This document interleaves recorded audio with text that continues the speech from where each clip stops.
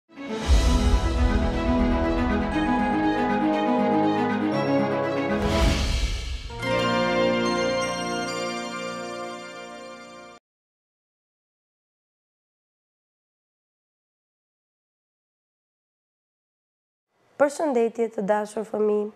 Sot në lëndën Edukim për shoqërinë një do të zhvillojmë temën Rregullat në park. Në park ose në këndin e lojrave. Si e përdorim ne më shpesh? Në foto shohim një park, një kënd lojrash në natyrë, në ambient të hapur, në të cilën fëmijët Po luajnë të gëzuar apo jo? Ë, janë të gjithë të buzëqeshur. Çfarë janë, cilat janë disa nga rregullat kryesore që ne duhet të ndjekim kur luajmë në park? Së pari, kujdesem për shokët apo shoqet dhe luajmë së bashku.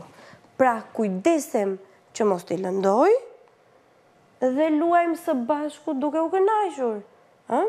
Fëmijët këtu po luajnë me top, me makina, me qenin e tyre dhe me rërën.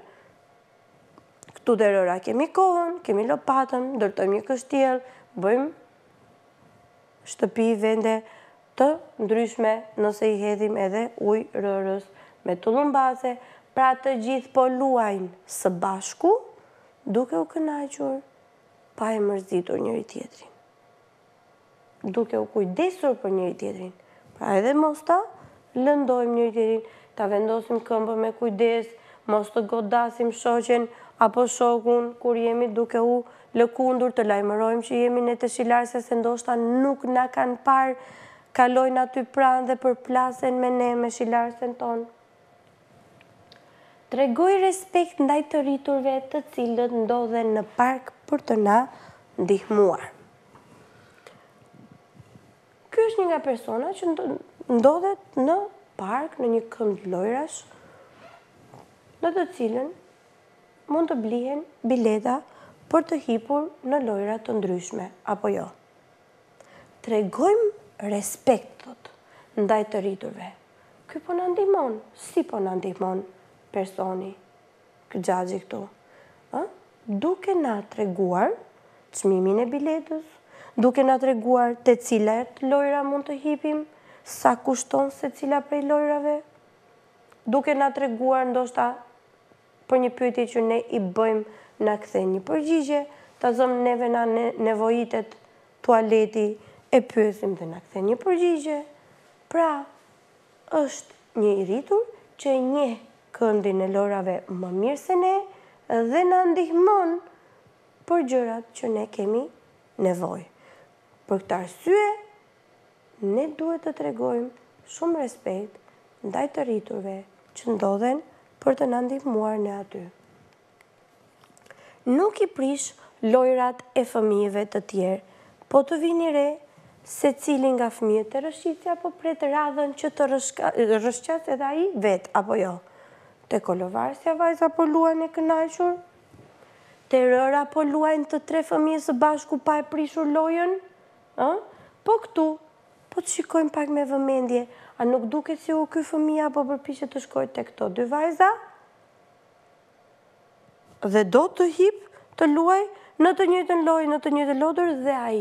Por duhet të presim radhën dhe të mos prishim lojën e shokëve që kanë filluar përpara nesh aty.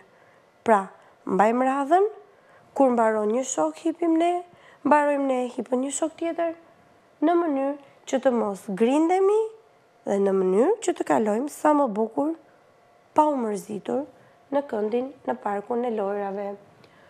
U kërkoj fëmijëve që janë vetëm të më bashkëngjiten në lojë.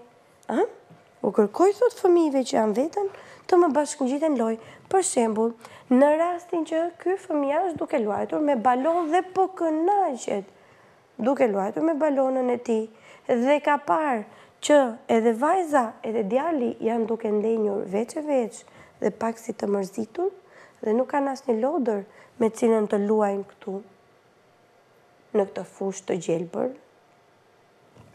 Ai mund t'i kërkojë atyre t'i bashkëngjiten në lojë dhe të luajnë së bashku, të argëtohen të kënaqen së bashku, apo jo? Po tjetër, kërkoj falje nëse kam kryer ndonjë veprim të gabuar.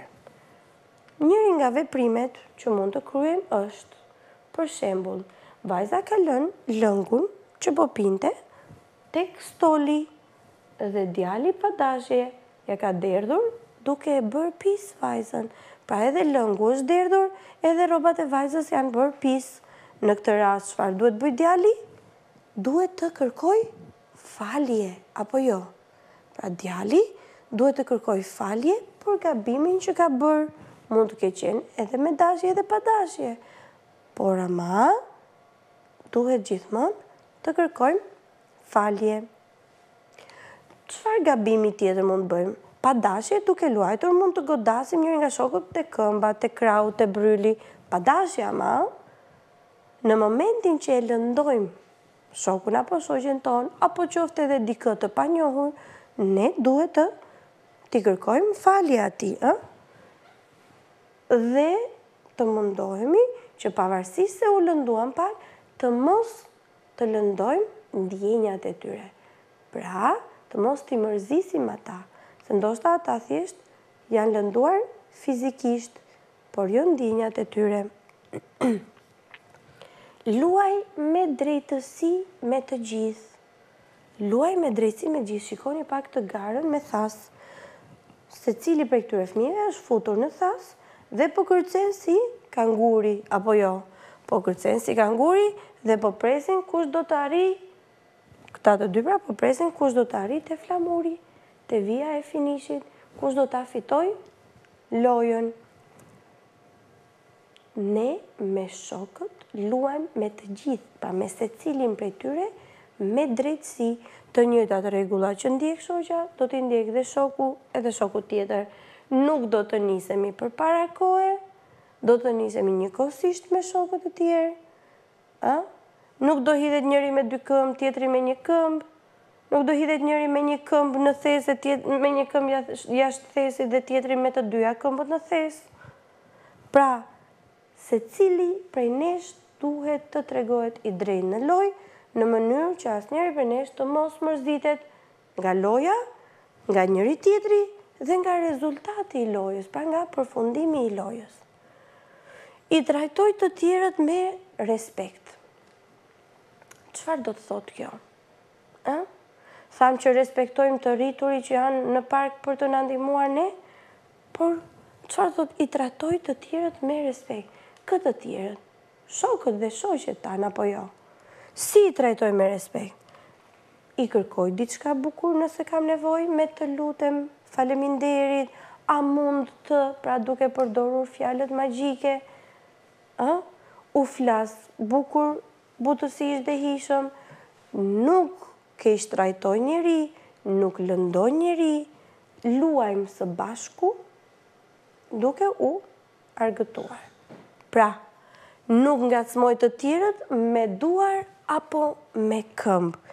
Në një park lojrash kjo është shumë e rëndësishme. Përse do thoni ju? Sepse në një park lojrash është më e lehtë që pa dashje të ngacmosh apo të lëndosh apo të prekësh dikë me duar apo këmbë. Dhe çfarë ndodh në këtë rast? Përpiqemi të luajmë pa i lënduar shokët apo shoqet tona, duke i mbajtur duart dhe këmbët tona, shikoni pak po luajnë futboll, Imagjinoni pak njëri nga shokët, pa dashje, të mos i mbajë duart dhe këmbët tek vetja e vet, pra pranë vetes së vet, pranë hapësirës së vet, por të afrohet të shtyjë nga shoku, ta shtyjë shokun në mënyrë që të kapë topin vet. Ose, pa dashje apo me dashje, të godasë shokun me këmbë në mënyrë që shoku mos të kapë topin, po ta kapë ai vet dhe të bëjë golin, të shënojë golin. Kjo është e gabuar, apo jo? Pra, nuk i ngacmojmë të tjerët me duar apo me këmbë kur jemi duke luajtur me ta në parkun e lojërave. Dhe rregulli i artë, më e rëndësishmja nga të gjitha, argëtohem. Pra, kur unë shkoj në një park lojërash, cili është qëllimi im? Qëllimi im është të argëtohem apo jo? Nëse unë ndjek të gjithë rregullat e mëparshme, Atëherë çfarë fitoj? Rregullin tonë të artë, argëtimin.